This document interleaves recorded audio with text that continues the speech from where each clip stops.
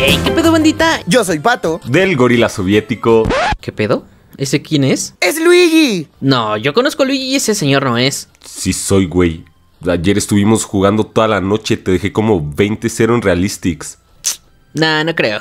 Tiempo sin verlos, mucho ha pasado y aunque probablemente fue demasiado el periodo de inactividad, incluso desde que anunciamos nuestro regreso, No, ¿en serio? quiero que sepan que nunca quitamos el dedo del renglón. Afortunadamente hemos tenido mucho trabajo, despertando el Sharingan derivado de ello y por lo tanto un pequeño descanso forzoso debido a lo que implicó distintas cosas del pequeño malestar. Incluso es justo decir que ya llevaba unas semanas enfermo desde que grabamos aquel video de MCR, pero con el ánimo y mejores deseos de compartir con ustedes contenido de la más dudosa calidad. Aunque vamos, no me distraigan con tanto que esto parecería que es un videoblog y ahorita no estamos para esas andadas, ¿vale? Que si este video es clickbait, pues probablemente, eso depende de la percepción de cada uno. Tampoco quiero dar una opinión porque no soy de hacer eso, yo soy más de tirar hate. Miren, ese niño es mongolito. Y en este caso, solo analizaremos lo que hay en el juego, tanto bueno como malo, pero dejando que cada uno saque su conclusión. Yo solo agrego dos pesos de comedia y espero que les guste. Así que arrancado ya el primer mes de temporada, veamos lo que ha tenido esta season e inicios del capítulo, motivo justo por el cual digo, este juego está roto. Recuerden suscribirse y utilizar el código iDrip para estar super hiper mamadísimos y ahora sí,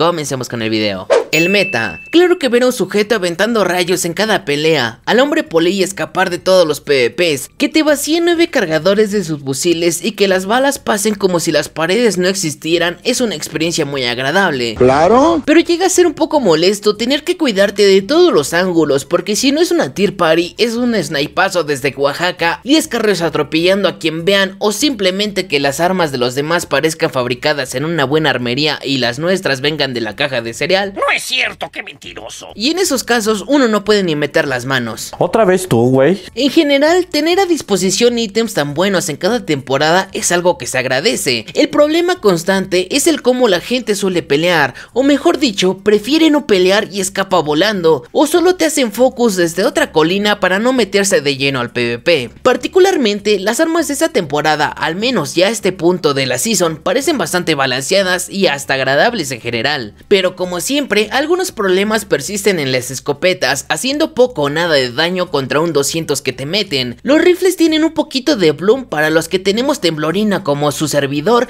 y las curas pueden llegar a escasear de vez en cuando. Esto respecto a la temporada pasada que había heal cada dos pasos. A mí me vale verga. Ahora, que si quieren puntos más específicos veamos. La escopeta guardián está bastante bien, pero su cadencia de tiro deja mucho que desear. Ah, qué mamón. Afortunadamente han dejado las escopetas de la temporada anterior y eso da un gran plus. El fusil de asalto bélico, aunque no es mi preferido, debo aceptar que es una buena opción como arma secundaria si tienes buena precisión y estás bien configurada. El subfusil profético, por otro lado, no está tan mal en cortas distancias, pero si requieres apuntar es preferible disparar con cualquier otra arma. ¡Cállate los cinco, tú! El fusil de tirador designado de la cazadora, aunque infravalorado por algunos, es bastante cumplidor para hacer daño al cuerpo y romper escudos antes de rushar a lo enfermo. moment. Los rayos. He de aceptar que aunque el 80% de las veces que los utilizo termino derribado, es mi ítem favorito, pero también uno de los que menos disfruté en sus primeros días, porque no me dejaban ganar una partida con tanto rayo en el mapa. Cierto, cierto. Las alas Ícaro son excelentes para rotar, pero si tu gamesense no es muy buena, será mejor abstenerse a usarlas para rushear a lo martos.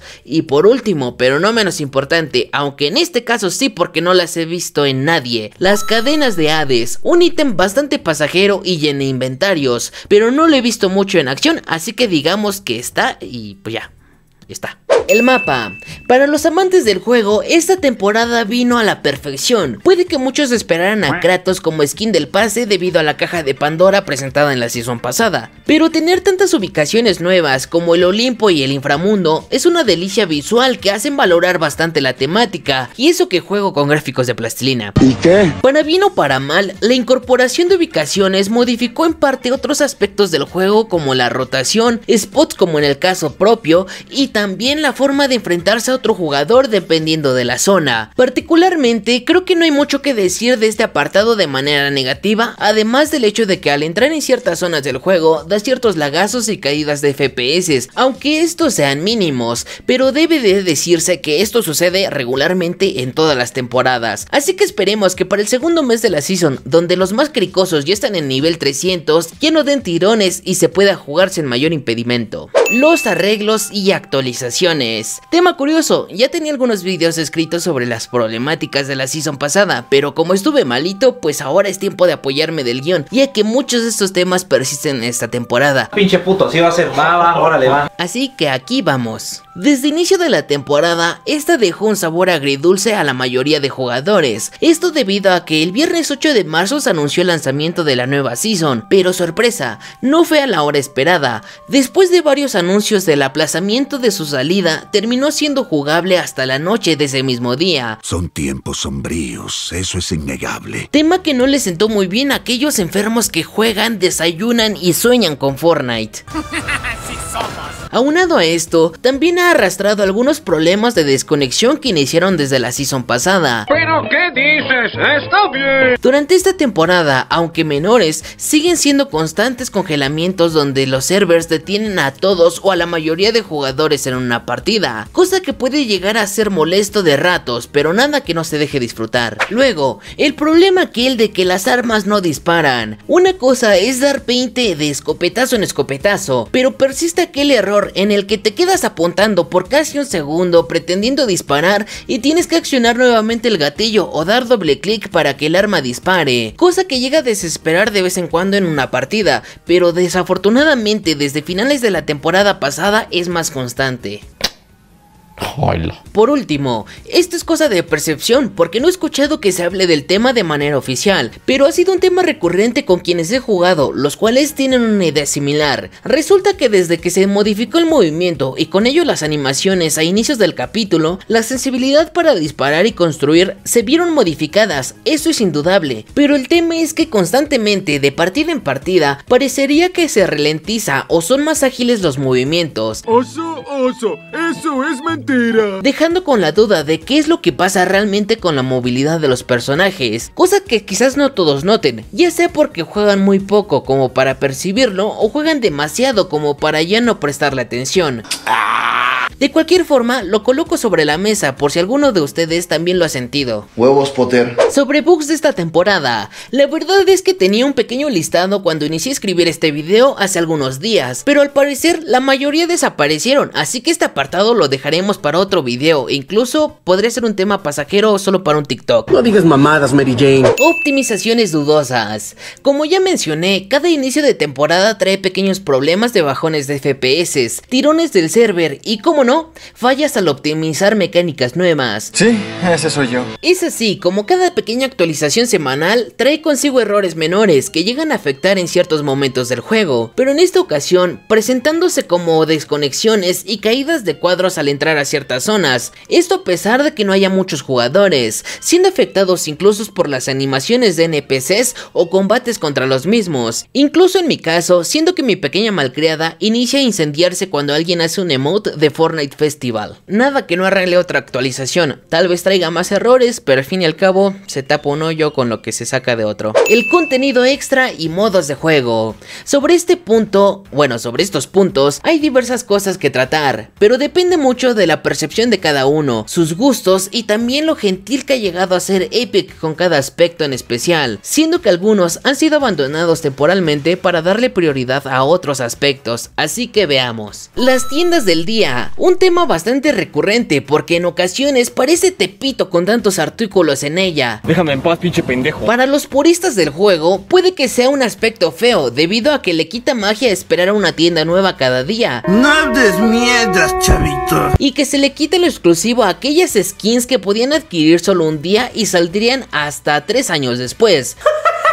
Gente miserable. Pero déjenme ponerlos en situación. Hace algunos ayeres, cuando iniciaba el juego y aún podíamos encontrar mil pavos en 79 pesitos o 0.76 dólares, Ay, qué bonitos tiempos. Era muy poco común que alguien quisiera gastar dinero en un juego gratuito que tal vez solo era pasajero, pero aún así era bastante aburridísimo ver cómo esperabas todo un día que saliera una skin que nadie compraba y aunque ahora se puede decir que es algo pesado ver las mismas skins en ciertos apartados durante semanas, es algo que se aprecia bastante debido a que ya no estamos en tiempos de gastar todo nuestro dinero en diamantes para el free, ahora tenemos que ahorrarle e incluso hacer el uso de hechizos oscuros como chambear para comprarnos una skin que nos esperará al menos dos días antes de irse. A eso se le llama estrategia. Hablando de Lego Fortnite, ahora que entramos en la segunda temporada de este capítulo, se introdujeron construcciones que podías comprar en la tienda, y parte de esa comunidad casi inexistente que se queja hasta por el color del cabello de una skin,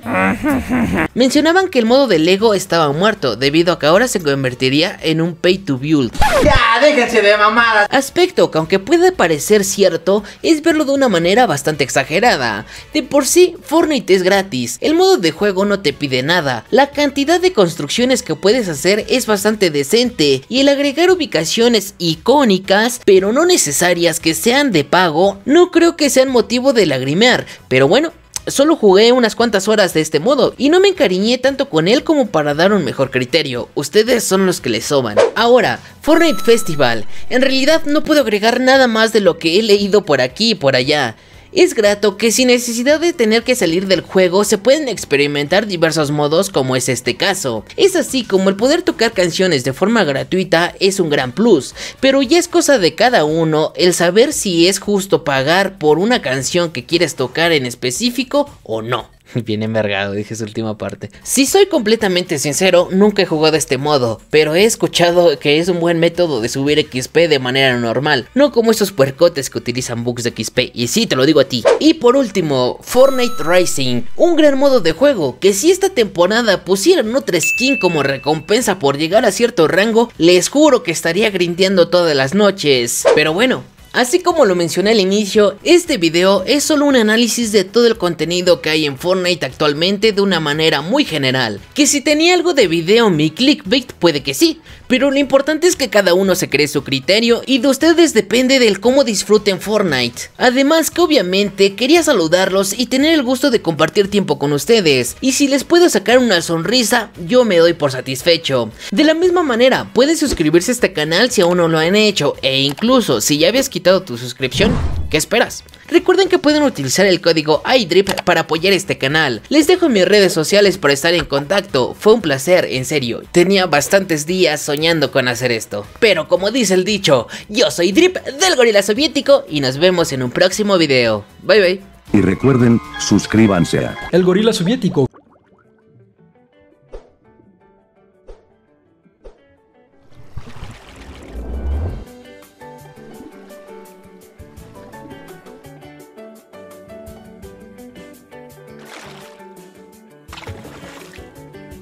Que te vacíen nueve cargadores de sus fusiles y las balas pares... que te vacíen nueve cargadores de sus fusiles y que las balas... Vales...